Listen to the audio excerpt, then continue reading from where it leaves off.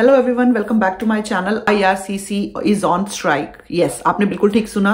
IRCC is on strike अगर आपने भी वीज़ा अप्लाई किया हुआ है कनाडा आने के लिए, अगर आपके मन में भी बहुत सारे क्वेश्चन है कि स्ट्राइक में एक्चुअली हो क्या रहा है, क्यों ये स्ट्राइक हुई है कनाडा की जो फेडरल गवर्नमेंट जो डिपार्टमेंट है, सारा का सारा स्ट्राइक पे चला गया है।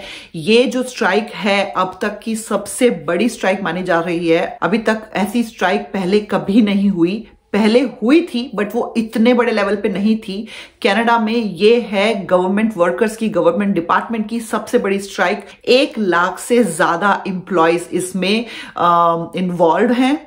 और बहुत इंपॉर्टेंट बात यह है जो आपको जानने के लिए बहुत बहुत ज़रूरी है कि वीज़ा पे क्या इंपैक्ट पड़ेगा। वीज़ा स्टेटस जो आ, हमने वीज़ा डाल रखे हैं ऑलरेडी अप्लाई कर रखे हैं और जो हम वीज़ा अप्लाई करने की सोच रहे हैं करने वाले हैं फ़ाइल प्रोसेसिंग के लिए हमने कंसल्टेंट को दे रखी है एजेंट्स को दे रखी है उन पे क्या असर होने वाला है सब कुछ बताऊँगी इस वीडियो में। ये जो स्ट्राइक है जितने भी गवर्नमेंट डिपार्टमेंट हैं Canada immigration immigration refugee citizenship Canada सारे डिपार्टमेंट आपके बंद हो रखे हैं स्ट्राइक पे हैं।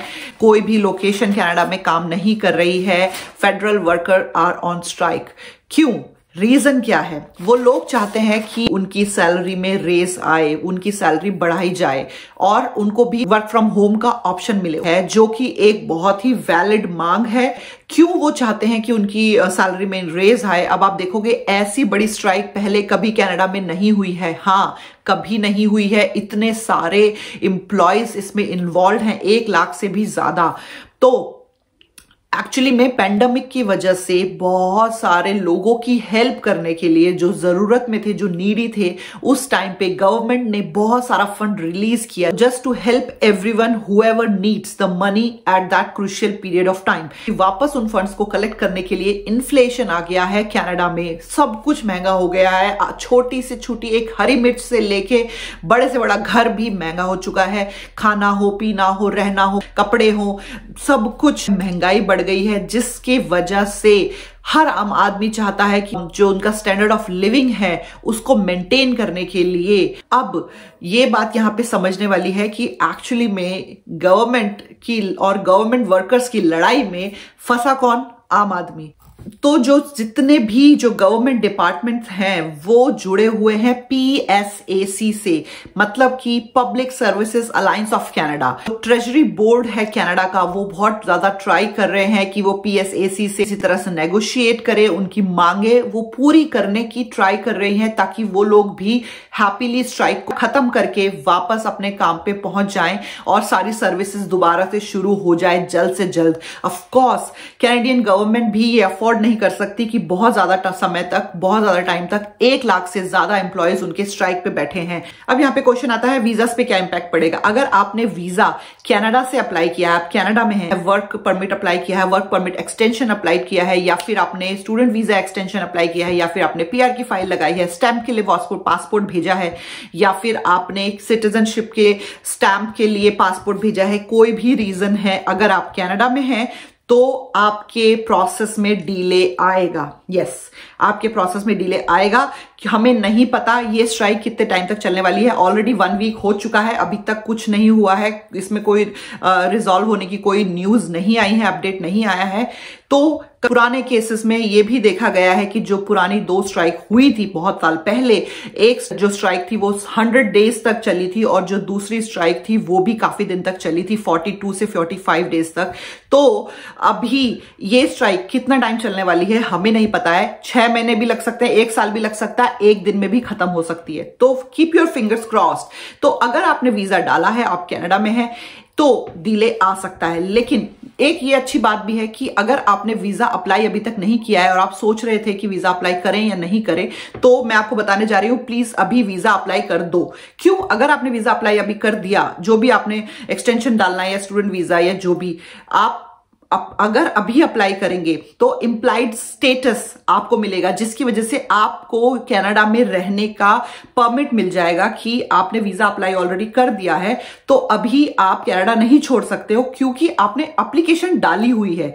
तो अगर डीले आता है तो उससे आपको फ़ायदा होगा कि आप ज़्यादा समय तक कनाडा में रुक सकते हैं विदाउट एनी वर्क परमिट और एक्सटेंशन और वट अगर आप वीज़ा डालने की सोच रहे हैं तो ये सही टाइम है, वीज़ा अप्लाई कर दीजिए और जब तक आपका वीज़ा अगर प्रोसेस डिले होता है तो आपको कनाडा में रहने का मौका मिलेगा।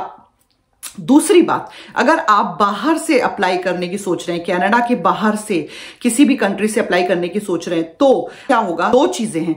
एक तो कि आपने अगर वीज़ा डाला तो क्योंकि आपका वीज़ा जब डलेगा, आप इमेजिन करिए, अगर आप किसी लाइन में लगे हैं, किसी स्टोर के बाहर तो आप पहले दो लोग खड़े होते हैं, फिर आप थोड़ा वेट करते हैं, चार लोग हो, चार लोग हो जाते हैं, फिर दस लोग हो जाते हैं, फिर बीस लोग हो जाते हैं, ऐसे ऐसे करके लाइन लंबी होती जाती है।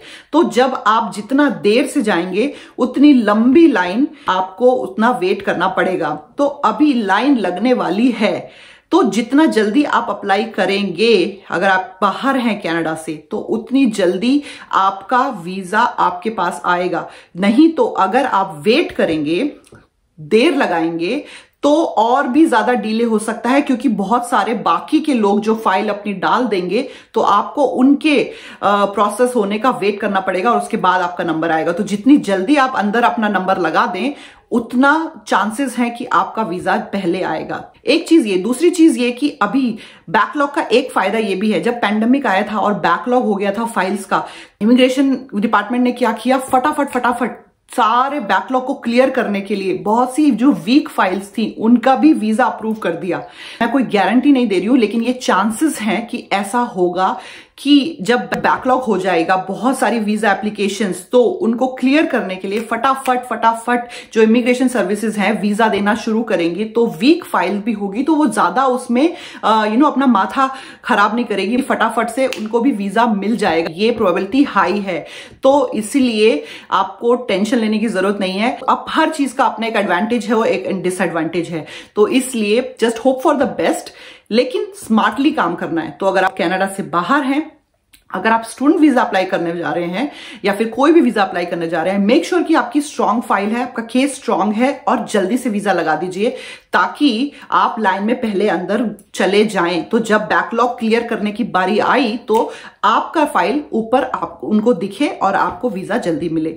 अगर आप एंड में खड़े हैं, पचास हज़ार लोगों के बाद तो आपको उनका क्लियर होने का वेट करना पड़ेगा। सिंपल अंडरस्टैंडिंग है, ठीक है? तो कनाडा से बाहर जो कैनेडियन इमिग्रेशन की सर्विसेज़ अवेलेबल हैं, दिल्ली में, दुबई में, हांगकांग में, बाकी सारी जगहों में भी, वो अभी डिपार्टमेंट्स बंद नहीं हुए हैं, वो काम कर रहे हैं। तो वहाँ से आप प्रोसेस कर सकते हैं अपना वीज़ा जो भी आप डालना चाह रहे हैं visa work visa tourist visa study visa spouse visa what वो वीज़ा आप उसमें डालिए, लेकिन वहाँ पे डालने के बाद जब वो वीज़ा प्रोसेस वहाँ का प्रोसेस खत्म होने के बाद जब कनाडा इमिग्रेशन के पास आएगा तो अब कैनेडा इमिग्रेशन सर्विसेज़ के पास आने के बाद वो यहाँ पे थोड़ा अटकेगा, यहाँ पे थोड़ा टाइम लगेगा, क्योंकि यहाँ पे इमिग्रेशन डिपार्टमेंट भी काम नहीं कर रहा है। तो यहाँ पे कनाडा में आने के बाद आपकी फ़ाइल डीले हो सकती है। आप एटलीस्ट ट्राई करिए कि आपका जो क्यू में नंबर है, वो जितना ऊपर आ सके, उतनी जल्दी आप वीज़ा अप्लाई करें। हालाँकि जो गवर्नमेंट इंप्लॉयज हैं फेडरल वर्कर्स ये कह रहे हैं कि हमें आम आदमी को डिस्टर्ब करना या उनको तंग करना हमारा कोई ये मकसद नहीं है। हम बस अपनी रिक्वेस्ट पूरी करवाना चाहते हैं गवर्नमेंट से। लेकिन आप देखिए एट द एंड सफ़र कौन करेगा? आम आदमी। क्योंकि वीज़ा हमारे अटके हैं। अगर हमें जल्दी कहीं ट्रैवल करना है या फिर कोई भी ऐसा इशू है तो उसकी वजह से ये सिचुएशन हमें आ, मुश्किल में डाल रही है। तो आई होप कि जल्द से जल्द ये जो स्ट्राइक है खत्म हो जाए। एक्चुअली में गवर्नमेंट भी नहीं चाह रही है कि ये स्ट्राइक ज़्यादा लंबी चले। जितना लंबा चलेगा, उतना ज़्यादा वर्कलोड एम्प्लॉयज़ के ऊपर आने वाला है, घचपच होने वाली है बाद में। लेकिन जो पीएसएसी है, उनके पास खुद का अपना बहुत फंड है तो उनको कोई टेंशन नहीं है। जितनी लंबी चले स्ट्राइक बिल्कुल सेफ़ एंड सिक्योर है तो उनको कोई हड़बड़ नहीं है कि वो जल्दी से स्ट्राइक खत्म करें। वो अपना टाइम ले रहे हैं और अपनी मांगे पूरी करवाने के लिए बिल्कुल डटे हुए हैं। तो इस अब सब कुछ गवर्नमेंट के ऊपर है। ट्रेजरी बोर्ड कितना दम लगाएगा और कैसे नेगोशिएशन करके जल्द से जल्द ये स्ट्राइक खत्म करेगा? लेट्स सी कोई भी अपडेट आता है तो मैं आपको इस चैनल पे ज़रूर दूँगी। कनाडा से रिलेटेड न्यूज़ लेटेस्ट अपडेट्स जो भी इंफॉर्मेशन मेरे पास है, मैं आपको देने वाली हूँ इस चैनल पे। तो अगर अभी तक आपने सब्सक्राइब नहीं किया है तो चैनल को सब्सक्राइब करें एंड स्टे ट्यून्ड और अगर आपने मेरी आयल्स की वीडियो अभी तक नहीं देखी है, आप भी चाहते हैं आयल्स में स्कोर अच्छा करना, लेकिन फंसे हुए हैं किसी ना किसी वजह से प्रैक्टिस कैसे करें नहीं समझ में आता कॉन्फिडेंस कैसे गेन करें नहीं समझ में आता तो डिस्क्रिप्शन में लिंक डाल रही हूँ। ऐसी बहुत सारी मज़ेदार और इन्फॉर्मेटिव वीडियोस आने वाली हैं।